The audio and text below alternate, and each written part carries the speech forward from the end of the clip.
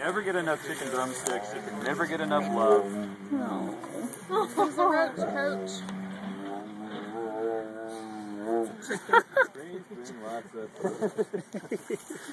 This is another. This is another of our cats that has an adoptive parent. Her mom Sally uh, sits with her for hours on end and feeds her chicken and takes as good a care of her and gives her as much love and companionship as she can possibly tolerate, which is extremely cool because we have some par- adoptive parents that don't come out all that much, or, or even ones that are out of state and can't.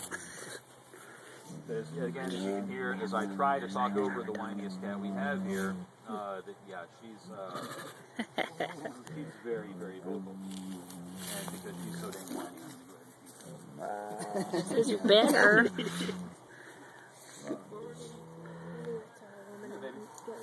Her being her being as old as she is, I'm not gonna make her get all of it. Kill it, kill it. There you go. Derek, is that the carcass truck we're smelling? Probably. Probably. There are there are smells out here. Good girl. Yeah, yeah. I know you're all done.